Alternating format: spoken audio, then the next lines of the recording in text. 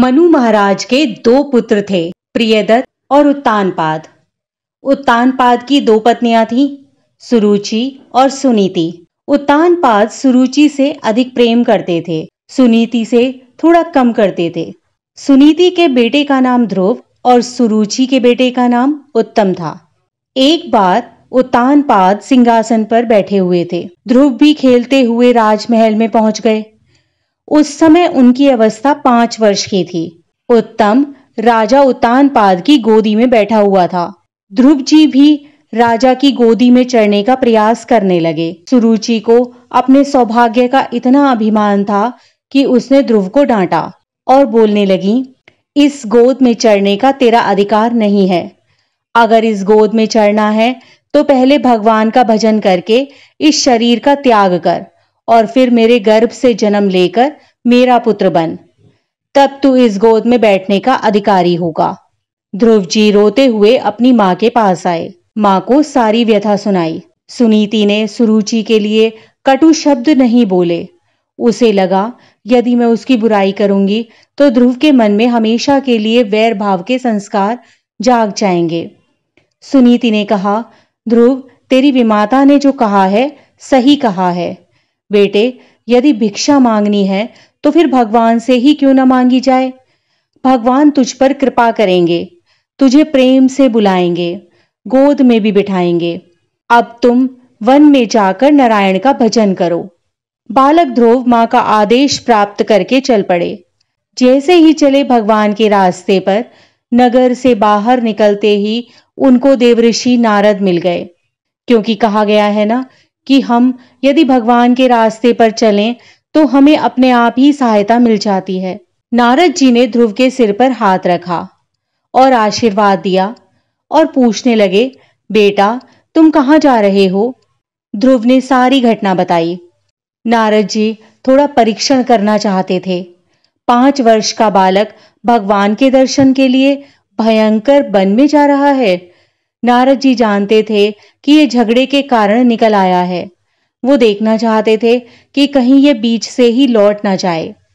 नारद जी ने कहा, बेटा, पाँच वर्ष की तेरी अवस्था है।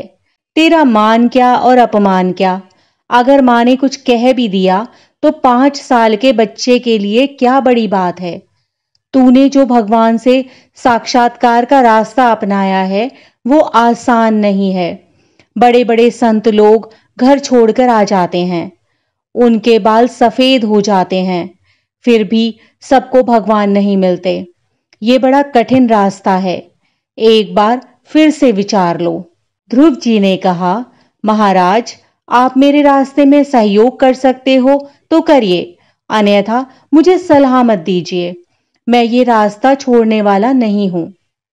नारद जी बहुत खुश हुए और ध्रुव जी को तुरंत अपना शिष्य बना लिया। ध्रुव जी ने दीक्षा नहीं मांगी।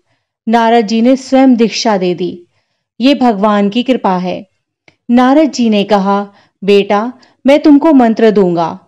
नारद जी ने ध्रुव को अक्षर मंत्र दिया। ओम नमो भगवते वासुदेवाय।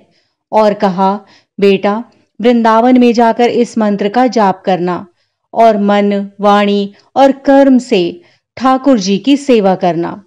ध्रुव जी वृंदावन में आकर साधना करने लगे। ध्रुव जी अन्न जल का त्याग करके भगवान के ध्यान में लग गए। साधना करते करते ध्रुव जी को भजन में इतना रस आने लगा कि अंगूठे के सहारे खड़े हो गए। हाथ जोड़ लिए और भगवान का ध्यान हृदय में किया। वही परमात्मा सब जगह विद्यमान है। ऐसा ध्यान करके अपने प्राणों को रोक लिया। ध्रुव जी ने जैसे ही प्राणों को रोका, सारे संसार के प्राण रुक गए। संसार के लोग छटपटाने लगे। देवता दौड़े दौड़े भगवान के पास गए और बोले, प्रभु, ये क्या हो रहा है? भगवान मुस्कुराए और बोले, मेरा एक छोटा सा भक्त है। वो प्राणायाम करके मेरा ध्यान कर रहा है। घबराओ मत, मैं उसको दर्शन देने जा रहा हूँ। भगवान गरुण जी पर बैठकर ध्रुव जी के पास पहुँचे। तो ध्रुव जी हाथ जोड़कर खड़े थे। आँखें बंद थीं। शरीर रोमांचित था, पुलकित था और गदगद था। ध्रुव जी को अंदर ठाकुर जी का दर्शन हो रहा था और बाहर भगवान ध्रुव जी का दर्शन कर रहे थे। ध्रुव जी आँखें खोल नहीं रहे। भगवान ने लीला की और अंदर के दर्शन को छुपा दिया। ध्रुव जी ने छटपटाकर आँखें खोली। तो देखा ठाकुर जी सामने विद्यमान हैं। ध्रुव जी भगवान की स्तुति करना चाहते हैं, पर नहीं कर पा रहे हैं। भगवान ने उनके कपोल पर शंख का स्पर्श कर दिया। अब तो ध्रुव जी के मुख से सरस्वती प्रकट हो गई। वे स्तुति करते हैं। हे प्रभु, इन छह महीनों में मुझे इतना आनंद मिला है कि अब मुझे राज्य की कोई इच्छा ही नहीं है। राज्य की इच्छा मुझे कीचड़ के समान लग रही है। मेरी इस ज़िंदगी को छुड़ाकर अपने चरणों में स्थान दीजिए प्रभु। भगवान ने कहा, बेटा ध्रुव, मेरे चरणों में तो तुम्हें स्थान मिलेगा ही, पर अभी तुम राजा बनकर राज्य का सुख भोगो। मुझे दिखाना है कि जो मेरे रास्ते पर चलता है, उसे मैं सांसारिक सुख भी देता हूँ, पारलौकिक सुख भी देता हूँ, और अंत में मैं तुम्हें अटल पदवी दूँगा। इसके बाद ध्रुव राजा बनकर प्रजा का पालन करने लगे। छत्तीस हज़ार वर्ष तक पृथ्वी पर शासन करने के पश्चात वे राज्य का भार अपने पुत्र को सौंपकर बद्रिक आश्रम चले गए और वहाँ जाकर भजन करने लगे। बहुत समय बीतने के बाद भगवान ने ध्रुव जी को लेने विमान भेजा। ध्रुव जी को अपनी माँ की याद आई। उन्होंने कहा, भगवान, मेरी माँ की प्रेरणा से मुझे आपकी प्राप्ति हुई है। अतः मैं माँ को साथ लेकर जाऊँगा। भगवान ने कहा, देखो, तुम्हारे आगे तुम्हारी माँ का विमान जा रहा है।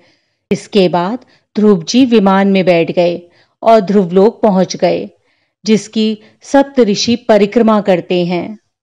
ये है भगवान की भक्ति का प्रभाव। ध्रुव जी को इस लोक में सफलता मिली और परलोक में भी ऐसा पद मिला जो आज तक किसी को नहीं मिला। ध्रुव ने वन में निराहार रहकर भजन किया। भजन में रस आता है तो वो शक्ति मिलती है जो भोजन में भी नहीं मिलती। जब हम भगवान के रास्ते पर चलते हैं तो वह भगवान सब कुछ स्वयं संभाल लेता है। ध्रुव जी को भी नारद जी मिल गए और उन्होंने बिना मांगे दीक्षा दी।